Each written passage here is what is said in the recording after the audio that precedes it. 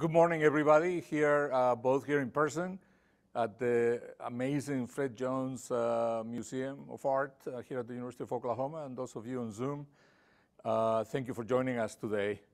Uh, we're recording this session, uh, so it will be available on the web after this for those who are not able to attend, and we'll promote it and advertise it again after the fact so others can, can get to hear the exciting things that are going on and what we have to say. Uh, you know, 2022 still happen, still going on, right? But it's been a difficult year. Like uh, uh, fiscal 22, you know, starting in July of last year, it was hard. It was hard. Uh, you know, all these new variants of the COVID uh, virus uh, affected a lot of us in many, many different ways, personally and through our families. And you know, it continues. I was just uh, exchanging email this morning with the chairman of the Faculty Senate Exec. Uh, he's home recovering from COVID that he caught while attending a scientific conference in Berlin.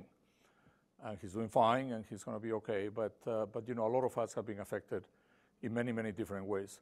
And, you know, throughout it all, uh, the university continues to persevere and to do amazing things. And that's really a testament to the strength and the commitment of the faculty, the staff, the students, everybody that works here at the university. I'm, I'm really proud to uh, be able to share with you today some news about uh, some information about what happened during fiscal year 22 in the space of research and creative activity, which as you know is so important to our uh, mission and our vision of the future of the university. So thank you all for your tremendous effort and commitment uh, to success of the University of Oklahoma. We're, we're in really, really good place right now. As you know, the um, university's strategic plan has five pillars, but there's two of them that I want to focus on today. You're going to see throughout the presentation, you're going to see references to pillars, strategies, and tactics in Lead On all throughout, because everything that we do is predicated on the Lead On University strategic plan that President Harris and his team and the faculty and the staff put together now almost two years ago. Okay? There are two pillars relevant here. One is pillar number one, become a top-tier public research university, right?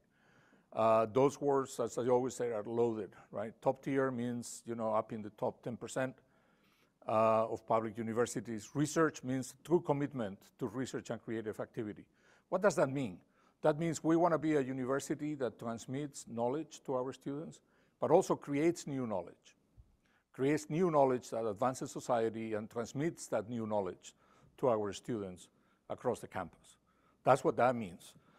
Um, and Pillar 5 is about enriching Oklahoma, the nation, and the world through research and creative activity. How do we do how do we create new knowledge that impacts society? Now, this is sort of a handful, you know, it's kind of an eye chart, an infographic, you know, that we call it, right? But, but I want to point you towards all the green in there. And again, that's a testament to the strength, the resilience, and the commitment of the faculty, the staff, and the students at the university. We had an amazing year in fiscal 22. We grew research sponsor research activity and expenditures by 12.5% relative to fiscal 21, uh, to a record ever for the university of almost 213 million. Uh, we grew federal research, which is really important in our metrics, right? Because we want to compete nationally on the federal scale. We grew federal research expenditures to 144.5 million. It's almost a 10% increase relative to last year. And uh, if you look across the board in the federal spectrum, in the Department of Defense, in the Department of Energy, in the National Science Foundation, in the NIH, um, uh, we grew even within the state of Oklahoma, we grew our funding, our support, and our expenditures for research by huge bounds and leaps. Okay. This really is an amazing, an amazing statistic. I don't think there are very many places that can put up numbers like this. We also, you know, through our Office of Research Services that does such amazing work every day, 24-7, up and running 24-7, uh, serving the faculty at the university to go out and submit proposals to win new awards. We had over a thousand, well over a thousand proposals submitted last year with a, you know, frankly, again, in a difficult time uh, when COVID was affecting a lot of people, and um, you know, with a, with an amazing team led by uh, Michael Purcell and his team that is, is just did an amazing job. 812 million total submitted uh, uh, dollars to federal and, and other sponsors, and uh, total awards of 231.5 million dollars, which is up uh, uh, 30 over 30 percent relative to last year. So again, uh, the trajectory is amazing. If you look actually at the at the graphs at the data this way, you see the trajectory at the university since 2018 over the, the last few years. This is total sponsored research expenditures at OU Norman campus. Uh, that's federal. You know, those trajectories, uh, you know, frankly, are incredible. They're hard to sustain, uh, but we're doing everything that we can to sustain them. And I want to talk a little bit about, about that. In fact, if you look at it by college, and these are not all the colleges at the Norman campus, but the five that, has the large, that have the largest uh, uh, research expenditures, what you see is actually really interesting. There is an upward slope in FY22 across the board. So it's not just that we're growing in one area, one specific area, but like I said, we're getting more funding, more resources from multiple federal agencies, and every college on campus, every faculty member at every college in every department and school is really pulling their weight and bringing and doing more creative activity, more discovery, more creation of new knowledge through research. Now, I told you at the beginning that one of the pillars talks about becoming a top-tier public research university. How, how do you measure against that? We're very focused on understanding performance indicators and how do we measure our progress beyond these charts, right? So how do you compare to others? How do we do, right? The American Association of Universities uh, is the benchmark. Um, uh, there are 65 universities in the United States. About 34 of those, I think, roughly are public universities that belong to the AAU. You don't apply to the club, you get asked to join. And you have to meet a certain set, set of benchmarks to be on the scale of the top tier universities in the, in the nation. And these are benchmarks that are very much related to research. So we want to look at how we're doing. Uh, the indicators, you're not going to be able to read this, but I'll just tell you that they have to do with federal funding. That's why I showed you that chart. They have to do with total research expenditures. They have to do with number of doctorates granted. They have to do with number of postdocs, citations to scientific papers, and they have to do with members in highly prestigious honorific societies like the National Academies of Science, Engineering, and Medicine, or other such societies, members of the faculty who belong and are elected to those very prestigious societies. Okay? So we have a, a process of tracking data and comparing ourselves against the top 90 Carnegie R1 universities in the country. Okay? And those arrows indicate uh, where we are today. Uh, if you look at our most recent data, we're moving up with respect to that top 90 in federal research funding. We're moving up in state, local, industrial research funding, and we're moving up in the number of postdocs relative to the, to the total size of the faculty at the university. Those are all really good indicators. But we have some areas in which we're not, and we, need, we have some work that we need to do. Let me show you what I'm talking about. Here is a, a comparison uh, of federal research expenditures, phase one, number one criterion for AAU, federal research expenditures per faculty member, okay, at different universities. Some of them members of the AAU, some of them competitors who want to be in the AAU, okay? And this is just a sampling, but here we are. We're kind of in the middle of the pack. We have universities around us like Arizona State or, or North Carolina State that are not members of the AAU, but aspire to be like we do. So think of that as the direct competition. And these numbers are normalized by total size of the faculty, by the way, okay? So apples to apples. We have universities like Purdue, where I came from, that actually do less federal funding per faculty member than we do, and they're in the AAU. And there's others like the University of Utah that just became a member. So you see, you see the scale. It's, you know, I think with the progress we're making and the trajectory that we have, we're actually looking uh, very competitive uh, with respect, and I'm really proud of that, by the way. And the, and the diversification of federal funding across the university Uh, with the Department of Defense and NIH, and you'll see some of those numbers, it is really promising. Now, here is one statistic where we don't do that well, and is how many faculty members, tenure, tenure track faculty members, does it take to have a member of the National Academies of Science, Engineering, and Medicine? That's the highest prestige academies in the nation, okay? Created by President Lincoln, okay, back in the uh, 1800s, to bring the most prestigious academics into these societies to advise the government on critical science, technology, and society issues. Uh, Arizona State, for every 83 members of the faculty, there is a National Academy member. Just to uh, um, North Carolina State, for every 62 members of the faculty, there is a National Academy member. It takes 900 members of the faculty to find one at the University of Oklahoma. So we have work to do. This is not a reflection of the quality of our faculty. Okay?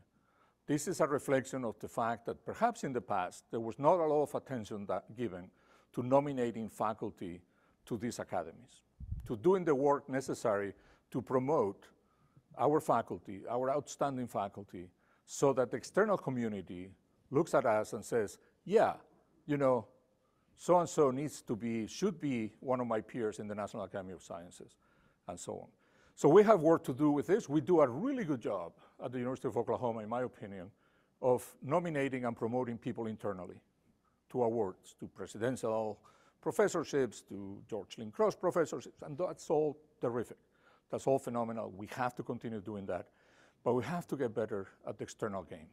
Okay?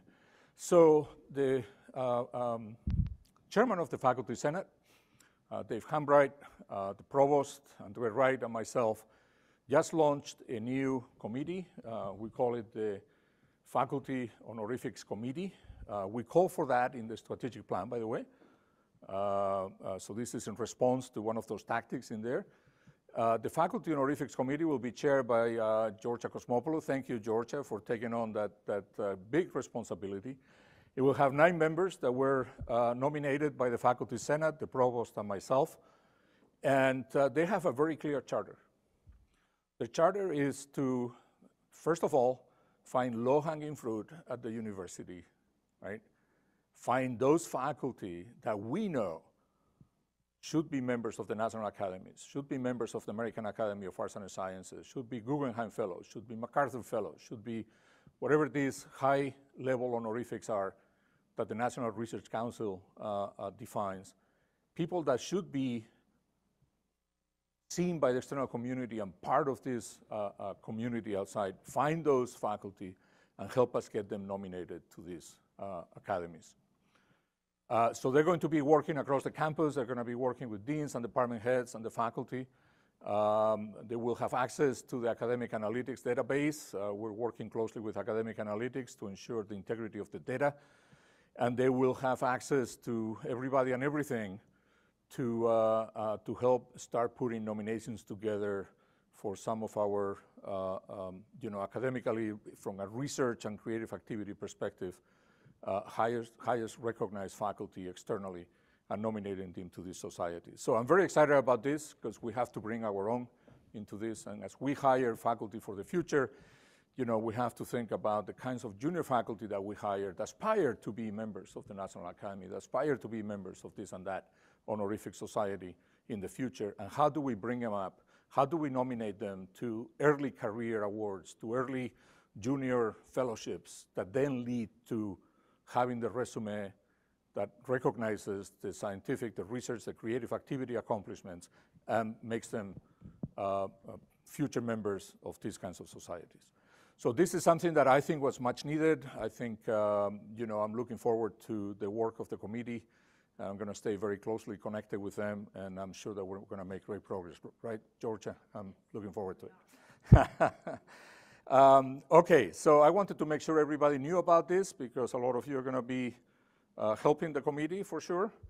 Uh, but then I also want to talk a little bit about, as you know, our strategic research uh, portfolio and what we're doing uh, from my office. Uh, as you know, we uh, stood up um, a series of strategic research verticals in response to Pillar 5 of the strategic plan. Um, and also a series of cross-cutting foundational centers and institutes that support and enable the strategic research verticals. You've heard me talk about this many times. Today, I'm going to tell you a little bit about the, progress in the verticals. Um, you always have access to the directors and uh, the networking events that get organized. I'm not going to talk about the foundations because otherwise we'll be here all morning.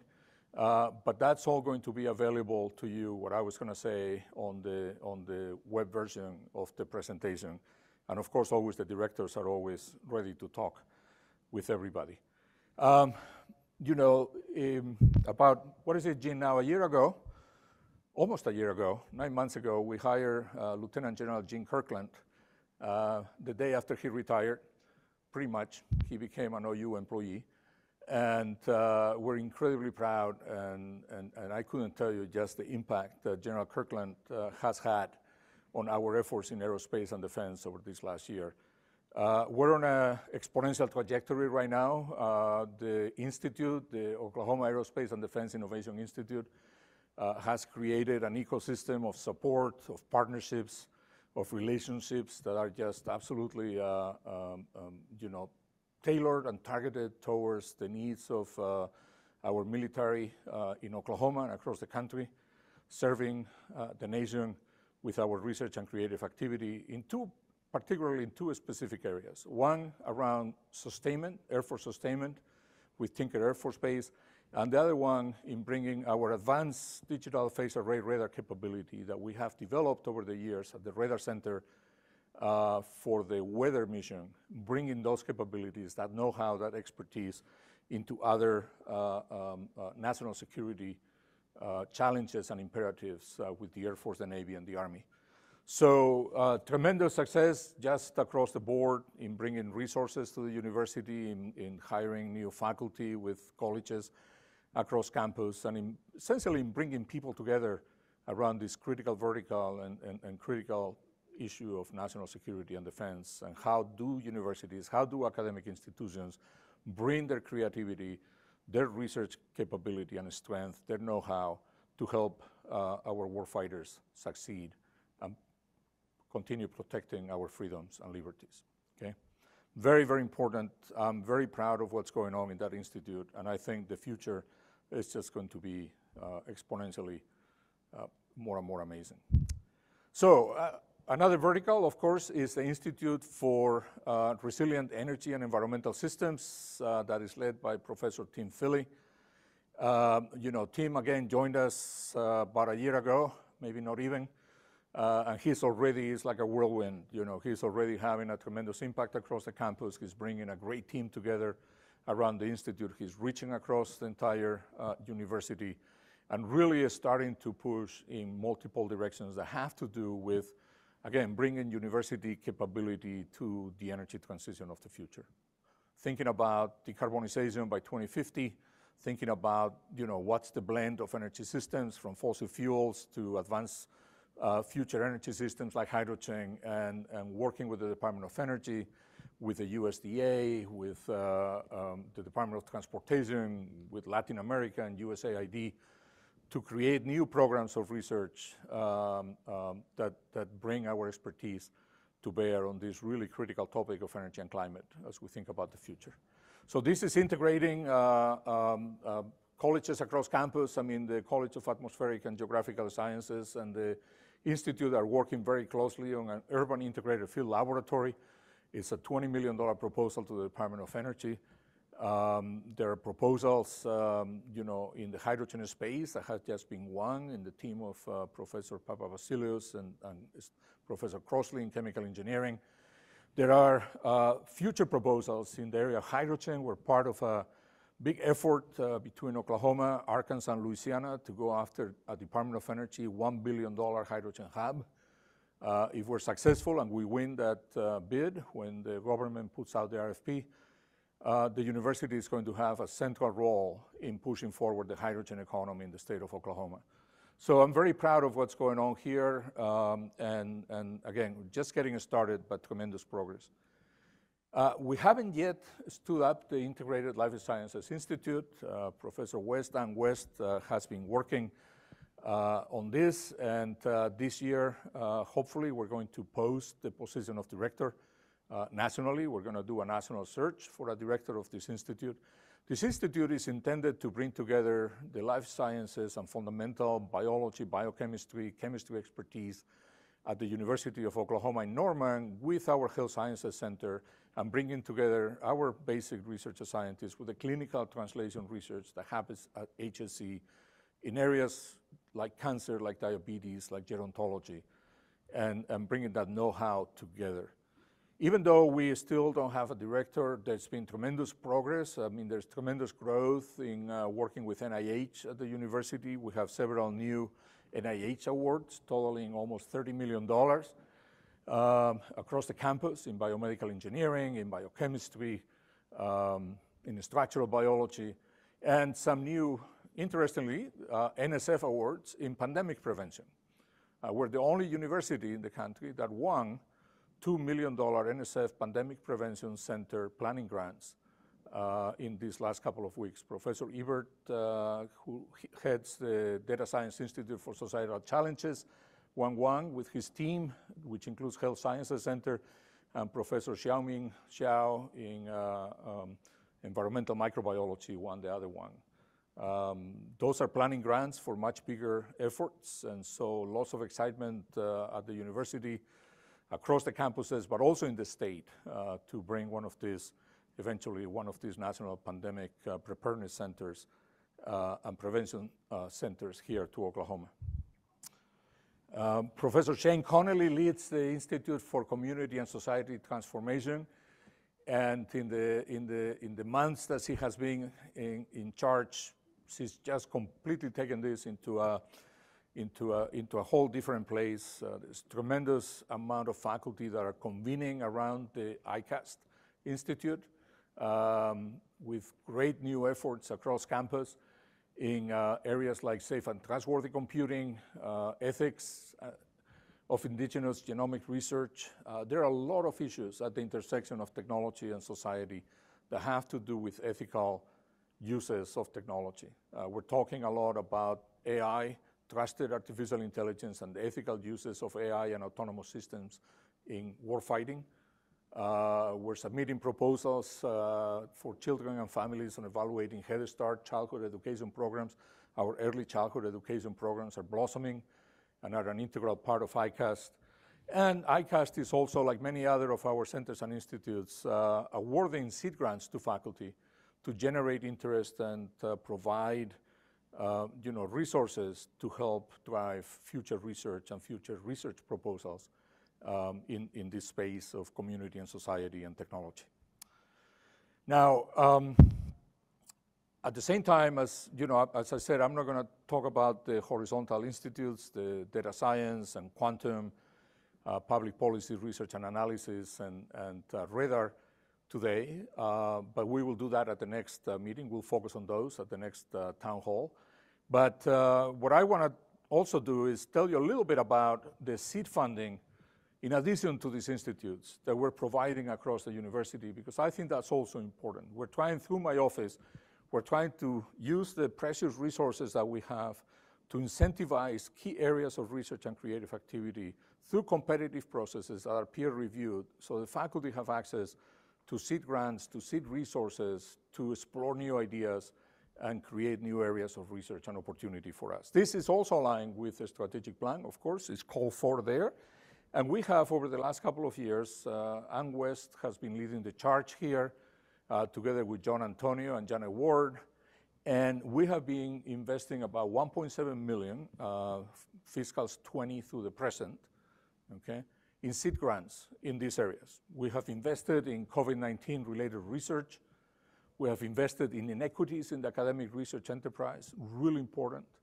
You know, two years ago, when we found ourselves in the midst of major national disruptions having to do with, um, um, you know, racism and inequities, uh, the university responded by looking at how do those issues impact academic enterprise. And we funded a group of faculty across campus that have uh, done amazing work uh, looking at the question of inequities ac across academic uh, research enterprise. And actually recently succeeded in winning an NSF advance grant that is truly going to transform the way that we do promotion and tenure and other things uh, on campus in, in, American universities by taking into account equity and inclusion uh, um, issues in, in these critical academic uh, enterprise uh, topics. So we also supported the Big Idea Challenge. Um, uh, there were four or five projects funded at significant levels of support. Uh, those are having also tremendous impact. Uh, as you can see there, the ROI on this $1.7 million worth of investments is about uh, factor 14 almost to date. So in just two years that these projects have been going on, uh, $23 million in new grants that are directly connected to the seeding of these projects, right, have already come back to the university. So I'll take that investment anytime. If anybody can tell me, I'll give you 14 time ROI in two years, let me know. Okay, I got, I got a couple dollars here in my pocket that I'll put in your investment fund. Um, you know, Social Sciences, Humanities, and Arts Seed Grant Program uh, started in the summer of 21. Uh, we have a matching program for postdoctoral researchers that I think is having a good impact. We want to keep growing the number of postdocs at the university. They're key to running research groups and, and to driving the research enterprise in, the academy. And uh, we have another grant um, that provides, uh, helps faculty uh, ask for and get um, course buyouts to write large, significant external grant proposals. So we're incentivizing that sort of thing. Overall, we're going to continue doing this, these programs, and we're going to launch some new ones. The Research Council, as you know, also supports a lot of seed grants across the campus. Uh, the Research Council is appointed by the Faculty Senate, by the Provost, and by myself. And uh, over the last few years, uh, they have uh, uh, awarded grants. In, this is for fiscals 19 and 20 Again, tremendous return on investment, a factor of 21 relative to the amount of money awarded. Uh, great outcomes in terms of publications and proposals, leading to $7.7 million of uh, uh, grants, conference presentations, books, etc. You can see that there. So great impact of uh, the programs that the Research Council manages, both for senior faculty and for junior faculty. Importantly, one of these programs through the Research Council is focused on junior faculty tenure track faculty to help them, um, um, you know, um, to incentivize and help them succeed in their research part of their job, part of their mission as they seek, for te seek tenure at the university. Um, we also have developed, as we call for in the strategic plan, a very strong congressional and state affairs team at the university. Uh, President Harris has been very focused on this as has uh, Vice President for Executive Affairs, uh, Sean Burrage. And um, a few months ago, uh, Holly Hunt came on as Executive Director of Congressional and State Affairs for all three campuses of the university. We have been working very closely with her and her team and you know, we've put together uh, a group of uh, uh, support consultants and firms in Washington, D.C. that help us with multiple federal agencies. We work very closely with Lewis-Burke Associates, uh, which is a small boutique firm. Many of you have interacted with them. They specialize in helping academic institutions work through the federal system, uh, not so much in lobbying Congress, but more in terms of understanding what's happening in the various agencies within the federal government. Uh, we work with them on NSF, DOE, EDA, and the Department of Commerce, NIH. They're incredibly helpful. I'll, I'll, I'll say a little bit more about Lewis-Burke in a minute. Um, Clark Hill and Associates uh, are key to our efforts with the National Oceanographic and Atmospheric Administration and with NASA, uh, mainly in the College of Atmospheric and Geographical Sciences. Uh, Steptoe and Cornerstone help us with DOD uh, through their consultants or their lobbying efforts. And so we've put together what I believe is a very strong partnership with our congressional delegation that has translated into very significant uh, congressional plus-ups that are directed towards the university. And we've also built, through Holly Hunt and Sean Burrage, a very strong partnership with the state legislature and the governor's office. Um, for the first time in many, many, many years, last year, uh, at the end of fiscal 21, uh, the state legislature uh, approved funding for several research facilities and, issues and topics, here at the university. They gave us an additional $5 million in the recurring budget, in the general education budget to grow faculty in engineering, to help meet the workforce needs of the state. And they also provided us with money to build our new defense and national security facility here on campus. Uh, this year, similarly, uh, they supported a lot of the things that we asked for. And so we have a very strong relationship with the state legislature, which really bodes well for the present and future of the university. At the same time, uh, we also, in my office, work very closely with the Provost Office and the Center for Faculty Excellence, in particular with the Research and Creative Activities team there at the CFE.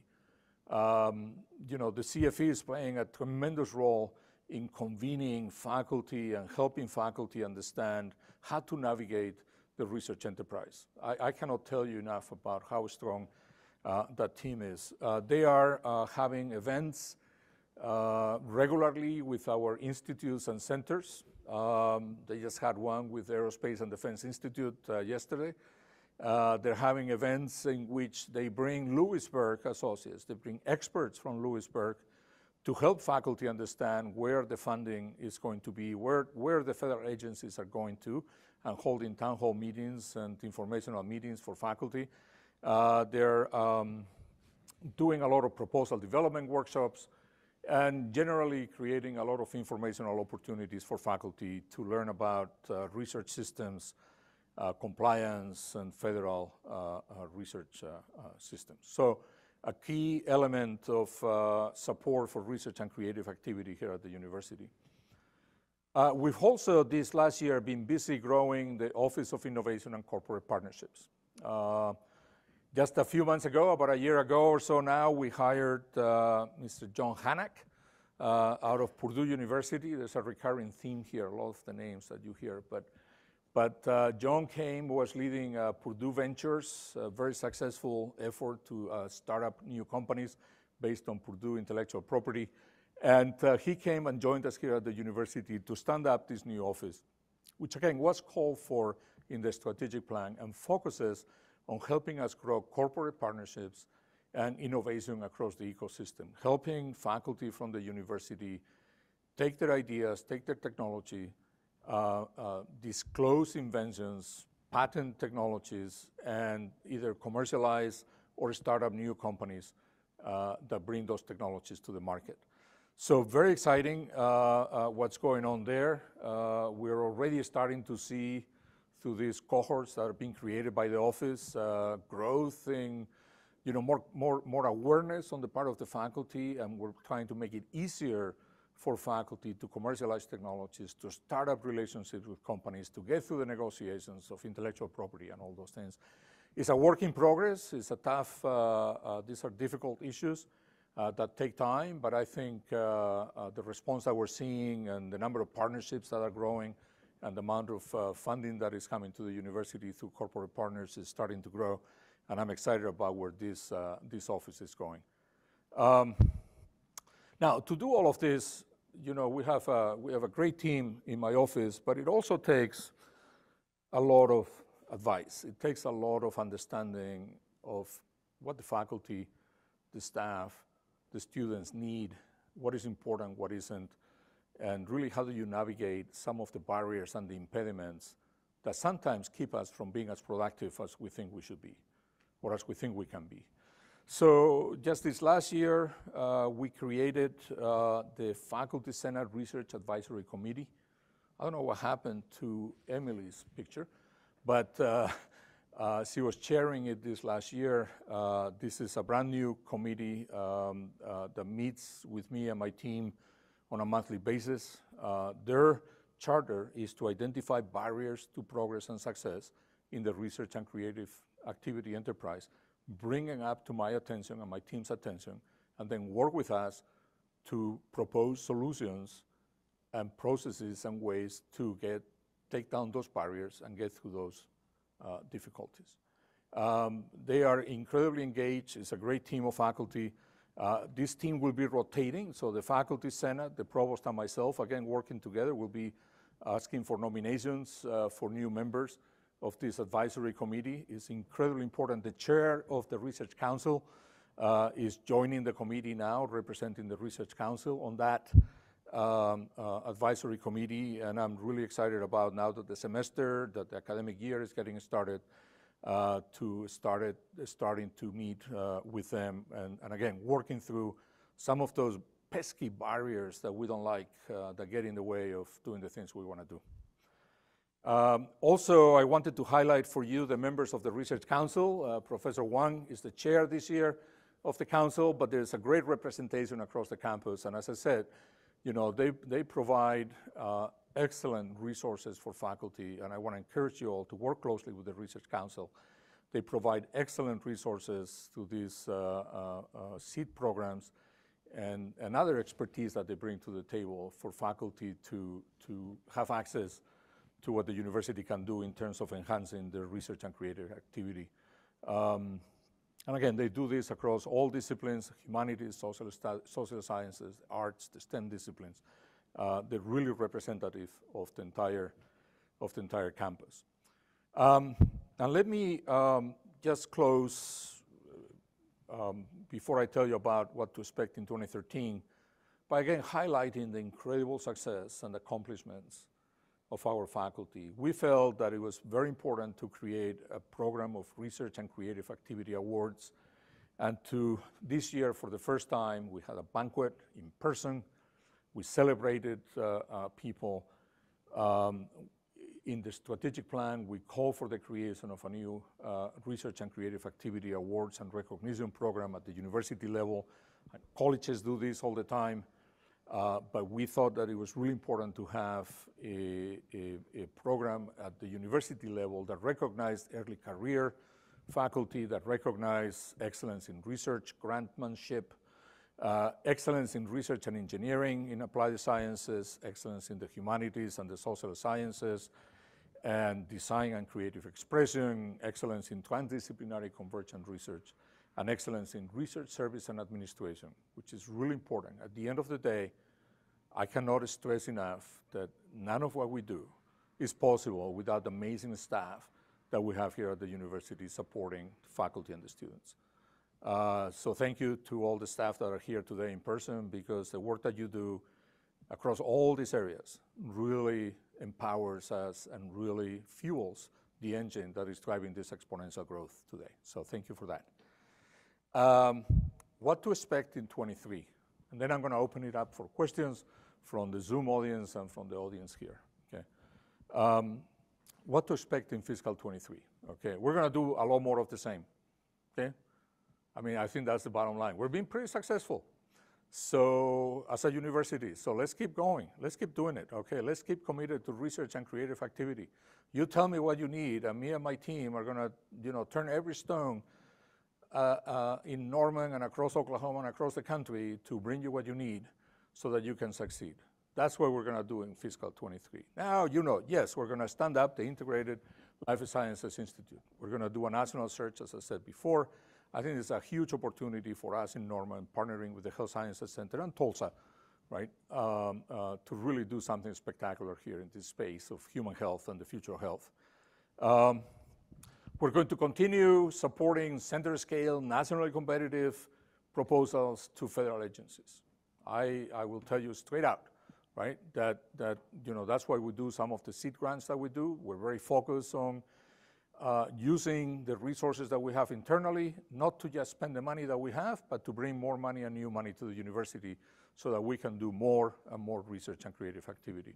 And doing this, being nationally competitive, doing these large scale centers, and going after that sort of uh, uh, very difficult but very competitive uh, proposals is key to our success, and we're enabling that in many, many different ways. So we're going to stay very focused on that topic. Uh, we're going to continue seed funding initiatives internally to incentivize all of this across all those areas, and some new ones to be announced uh, in the near future that Ann West and uh, John Antonio and the team uh, in my office are thinking about and working on with the Institute directors. And then, um, you know, we're going to have another round of the very successful Research and Creative Activity Awards. And I want to mention that at the very end and leave that with all of you because we're going to, together with the provost, as the provost announces all the excellence awards, you know, across the, the academic enterprise, we're going to announce the Research and Creative Activity Awards at the same time on September 15th. And your nominations, as, as we said before, you know, internally, uh, as, as we're talking about doing externally, your nominations of your peers, your colleagues in the faculty to these Research and Creative Activity Awards are what fuel the program, are what, what drive the success of us recognizing the accomplishments of our friends and peers. Okay, so, so I'm, I'm please um, um, look at that when it comes out and help us uh, um, identify your peers and colleagues that uh, uh, we need to recognize this year for their accomplishments in this space. So with that, uh, thank you also very much uh, for your attention, and uh, let's keep making progress and changing lives through research and creative activity. Thanks.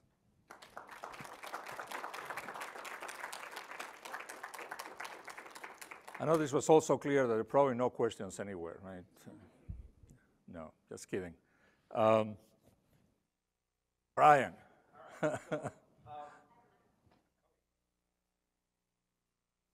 Uh, Tomas, thank you for the presentation. So when you made a list of things that we're short on, the one that jumps out as the graduate students, right? Yes, yes, And I yes. didn't see anything, I saw th- something up there about postdocs, which looks like Yeah, we're pretty good at, yeah. but I didn't see anything about graduate students, when in fact, as, as I'm sure you know, the, we've actually been disincentivized to have grad students because of the increase in tuition that's being charged to grants, right? Yeah. So what, what, what are your thoughts on that and that sort of, and, and- and what, what does the graduate student profile look like? Yeah. So look, I mean, you're very, very observant, Brian. I'm not surprised. Uh, I, I know you are, and and you picked up uh, a key. Um, uh, so so right now we're at about 50%. I was having this conversation with the provost, uh, by the way, last night over a glass of wine. Okay, um, uh, we're about 50% of where we need to be to be competitive in the AAU. Okay, mid-tier publics. Uh, that's a huge gap. Between us and the Health Sciences Center, we graduate about 230 doctoral degree uh, recipients every year. Uh, we need to be at about 400. Okay, so we got a huge gap. Um, we've had issues in the past uh, having to do with uh, very high fees for graduate students, uh, high tuition, you know, low salaries. Uh, the graduate school is working hard on that. There's the, the strategic plan calls for some solutions for that, which require money. Um, Anna and I have been talking about, and by the way, the College of Arts and Sciences, Georgia, you may want to comment on that, has a program to incentivize graduate student PhD thesis completion and other aspects of the graduate student life uh, throughout a graduate student's life. So the, the, the College of Arts and Sciences, fortunately for them, received a very large endowment this last year uh, from the Dodge family and they're using some of those resources. But that's for the College of Arts and Sciences. So we need to do something more global across the university. Ann West and I, when I mentioned here others TBA, it's about graduate students. So we're thinking right now about the kind of program that we can put together through my office that could help um, uh, lower the barriers to bringing graduate students to the university and lower the barriers to completing the PhD at the end of the process. Okay. So stay tuned. You know, in fact, Anna and I spent an hour yesterday talking about how we want to craft the program before we announce it. We're going to be asking people like Georgia and you and, and others about thoughts and ideas, and, and we'll be doing a, a, a seed grant program uh, focused on graduate students.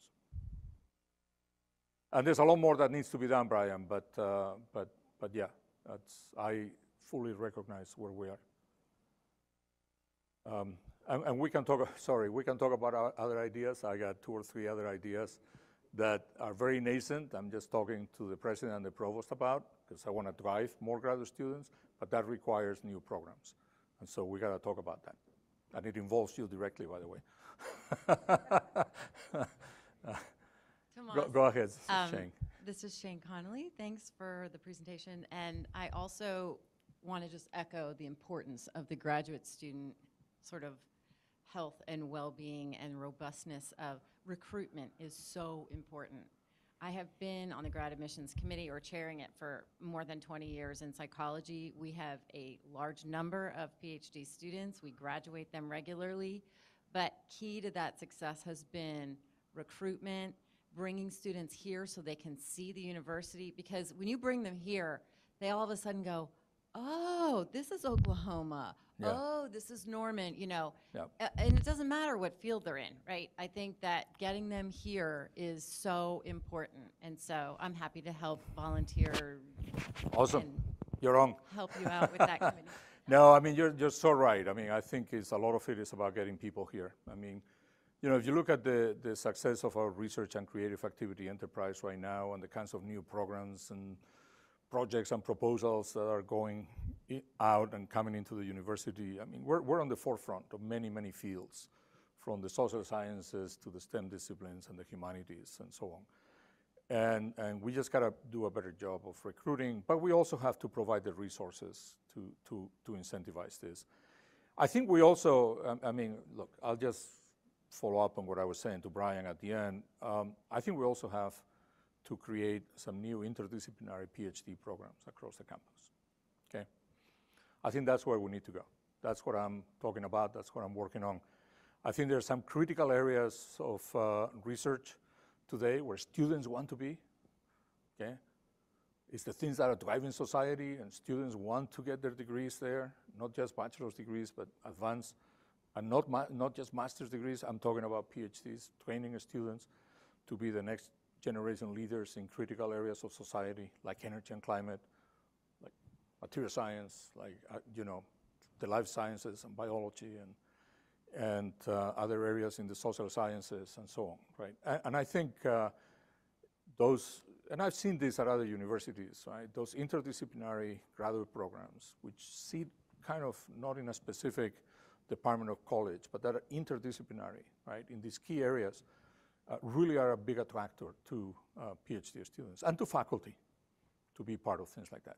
So hold that thought, right? Starting to think about that, starting to uh, uh, uh, advocate for those kinds of issues, those kinds of programs.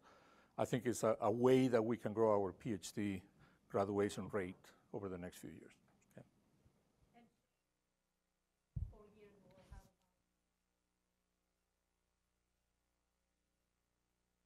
Yeah, and, and so, you know, and, and again, you know, I, I really applaud what is going on in the College of Arts and Sciences, in the Dodge uh, College.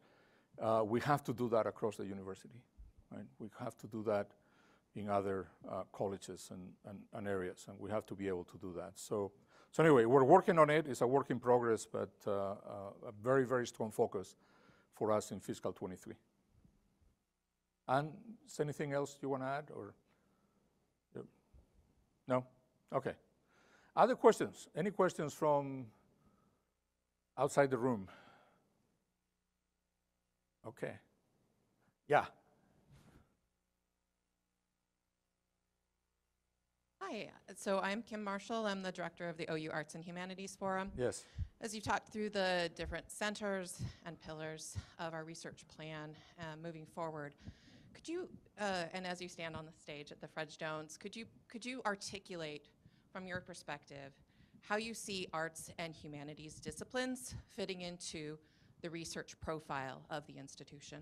Yeah, um, I think what, by the way, I think what the, the Humanities Forum is doing is terrific. Congratulations on, you know, new grants uh, through foundations and things like that, and the work uh, uh, that you're doing with uh, uh, some of the institutes uh, that will do that. I, I I've always um, talked about convergence, and I've always talked about the importance of bringing together the humanities, the social sciences, the fine arts in convergence across academic boundaries with the STEM disciplines to tackle grand challenges. And that's where I see this. I see in anything that we do, I want to continue incentivizing the idea that it takes all disciplines to tackle a really difficult grand challenge and to have impact on society. And, and that's how I see it. That's how I've seen it from the very beginning, and that's how I see it going forward. Uh, David, I mean, you have been working closely with some of the faculty in, in the humanities, in digital humanities. You, you know, you, you have some very good active examples of those kinds of collaborations. Um, you know, I think we have to continue incentivizing the concept of transdisciplinary convergence Because that to me, at the end of the day, you know, which stands at the top of our strategic plan from the very beginning, right? That to me, at the very end, is what drives impact on society. So that's what I want to see more. I want to see more collaboration across disciplines. Um, some of you have heard me say this before. I said it uh, often early when I came to the university. Uh, a multidisciplinary team of a mechanical engineering engineer, a chemical engineer, an aeronautical engineer is not a convergent team. It's a group of engineers. Okay? Uh, so, so nothing wrong with three engineers working together, okay? But uh, what we're looking for is, is, is really much broader than that. And I think through ICAST and through the Institute for Public Policy Research and Analysis, uh, through DISC and through all the other centers and institutes as we move forward, we're going to see and, and, incentivize and look for more and more of that collaboration across disciplines. Yeah, John. Kim, uh, you may not be aware of this. Just a quick example. Tomas was mentioning David had some examples. Uh, this past couple of years, I ran the Strategic Equipment uh, uh Innovation Program uh, investment program, I should say. And we're real excited. The committee was received several applications from the Fine Arts College, and we're so pleased to award one to Seth Gordon actually for a project called the Green Hippo 3D Projection Mapper. That technology is so cool, and I think is going to really have a huge impact on the fine arts, and we can't wait to see it uh, come to fruition. So that's just one example. You're right, though, that we do need to pay more attention and be more intentional about integrating uh, the fine arts into the research program. I think it's so important. It was fascinating, actually, when we had the RFP for the equipment program that John is talking about. Um, um, the College of Fine Arts was, I think, was the largest responder uh, uh, to the RFP, and they really had this fantastic ideas that were sort of, you know, technology that's going to help theater, technology that's going to help music program. And so we're very, uh, uh, it was very satisfying to see that. I talked with Mary Margaret and, uh, you know, we talk about what was, most important and supported some of that work, and we plan to continue doing that going forward in the future. So yeah, thanks for that, John. Anything else? All right, look, uh, thank you all so much uh, for participating, both on Zoom and here in person. I really appreciate all the amazing work that you're all doing, the huge support for the research and creative activity mission of the university. Uh, we're on a great trajectory. Let's keep it going. Thank you.